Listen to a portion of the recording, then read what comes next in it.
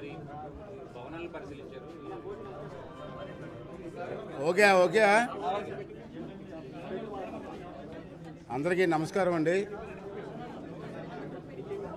ఈరోజు మన రాజధాని ప్రాంతాన్ని సందర్శించాలని చెప్పి నేను అనుకోవడం జరిగింది.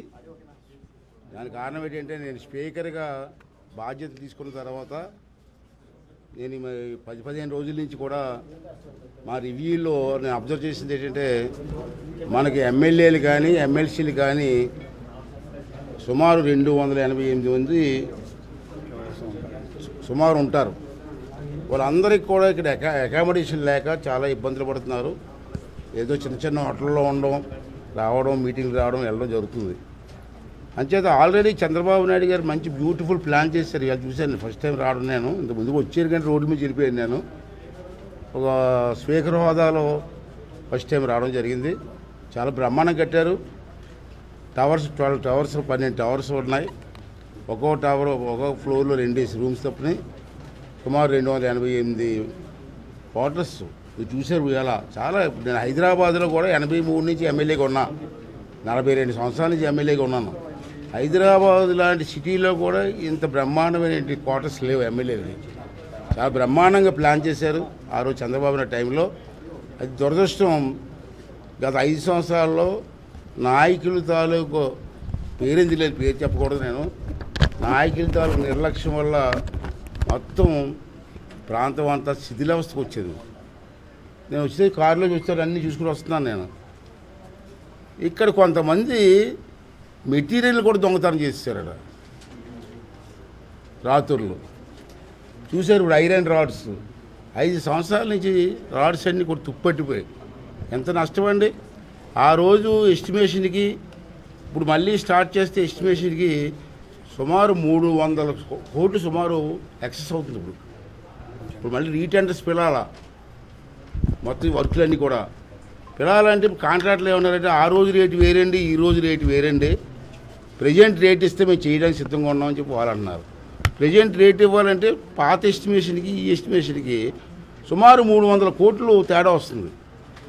సరే ఎంత తేడా వచ్చినా తప్పదనుకోండి కానీ ఒక నిర్లక్ష్యం వల్ల ఒక నాయకుడి తాలూకు నిర్లక్ష్యం వల్ల ప్రజల తాలూకు డబ్బు మూడు వందల కోట్లు అనవసరంగా వేస్ట్ అయిపోయింది. ఇటువంటి క్లిష్ట సమయంలో ఏదేమైనా నేనేమనుకున్నానంటే ముందు ఎమ్మెల్యేస్కి మంత్రులు వేరనుకోండి మంత్రులు సెక్షన్ వేరే చూస్తున్నారు జడ్జి సెక్షన్ వేరే చూస్తున్నారు. యాజ్ ఏ స్పీకర్గా వీళ్ళకి అకామిడేషన్ కల్పించే బాధ్యత నాకు ఉంది కాబట్టి నేను ఇప్పుడే కమిషనర్ గారితో దానికి సంబంధించిన అధికారులందరితో కూడా అసెంబ్లీలో మీటింగ్ పెట్టాం మీకు కూడా తెలుసు. మేము అంతగా నిర్ణయం తీసుకొని దీనికి ఎంత బడ్జెట్ అవుతుంది ఎక్స్ట్రా?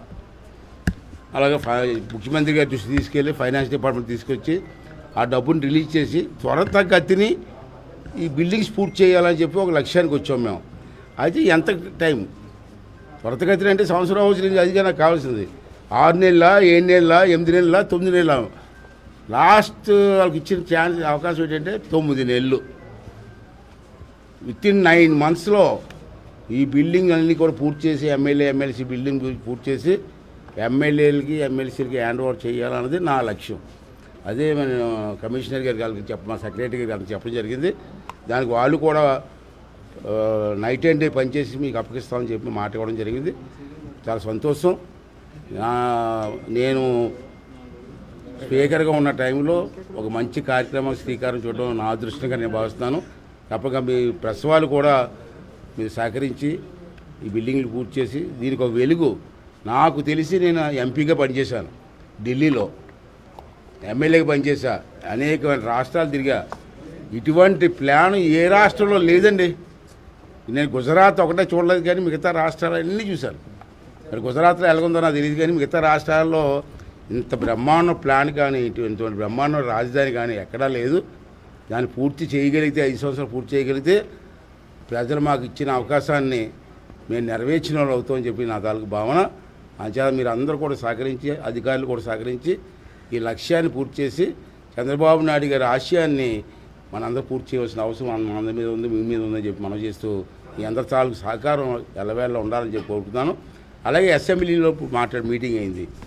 అక్కడ అకామిడేషన్ చాలే విచిత్రం ఏంటంటే బాధాకరం విషయం ఏంటంటే నాకు నేను మీటింగ్లో ఐదు సంవత్సరాల నుంచి అసెంబ్లీకి వైట్ వాష్ కూడా వేయలే.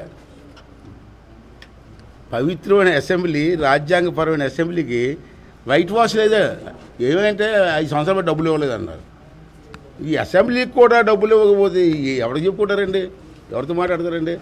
అంటే ఇప్పుడు మన కమిషన్ గారిని అడిగి ఇమీడియట్గా వైట్ వాష్ వర్షం పడితే లీకేజీలు ఉన్నాయి అది. పక్కన బిల్డింగ్ చూసాం పక్కనే. ఆ బిల్డింగ్ కూడా పూర్ ఎనెక్స్ బిల్డింగు. ఆ బిల్డింగ్లోనేమో ప్రెస్ ప్రెస్ వాళ్ళకు మీడియా పాయింట్ మంచి లైబ్రరీ. నా ఉద్దేశం ఏంటంటే హైదరాబాద్లో లైబ్రరీ ఉంది. నేను మొట్టమొదటి ఎమ్మెల్యే ఎనభై మూడులో అయ్యా. అప్పుడు నాకు అసెంబ్లీ తెలియదు రూల్స్ తెలియదు ఎలా మాట్లాడాలో తెలియదు నాకు ఎనభై మూడులో. నేను లైబ్రరీలో కూర్చొని గంటల గంటలు చదివాను నేను. పూర్వం పెద్దలు గౌతు లచ్చన్న గారు అటువంటి పెద్దల తాలూకు స్పీచెస్ అన్ని లైబ్రరీలు ఉన్నాయి. అవన్నీ చదివి three naught four eighty zero hour eighty అన్ని నేర్చుకున్నాను. అటువంటి లైబ్రరీ మళ్ళీ మన ఇక్కడ మన అసెంబ్లీలో ఉండాలన్నది నా భావన. అది కూడా హాల్ కూడా తయారు చేయమన్నాం. పైనేమో రూమ్స్ కూడా తయారు చేయమన్నాం. అలా క్యాంటీన్ ఒకటి. మనకే కాదు ఎమ్మెల్యేలకి కాదు. పబ్లిక్ ఎవరు వచ్చినా సరే క్యాంటీన్లో దూరంగా వెళ్ళకుండా అక్కడ ఒక టిఫిన్ సెక్షన్ కూడా ఏర్పాటు చేయమని చెప్పడం జరిగింది. ఇవన్నీ కూడా మాడిఫై చేస్తున్నాం. దానికి మీ ప్రెస్ వారి సహకారం కూడా కావాలని చెప్పి మీ అందరిని కోరుకుంటూ అధికారులను అందరిని రిక్వెస్ట్ చేస్తున్నాను. ఇది ఆర్డర్ కాదు నేను.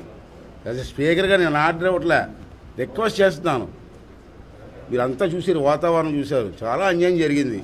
చాలా నష్టం జరిగింది. అంచేది మన అందరం అధికారులని కాకుండా ప్రజాప్రతినిధులని కాకుండా అందరం కలిసి అందరం మన అందరం కలిసి ఈ రాజధాని బిల్డప్ చేసుకొని ఎక్కడా లేని రాజధాని బిల్డప్ చేసి మరి ప్రజలకు అంకితం చేయవలసిన అవసరం ఉందని చెప్పి నా దానికి భావన. అందుకు మీ అందరితో సహకారం ఇవ్వాలని చెప్పి మీ అందరిని కోరుకుంటున్నాను. Thank you thank you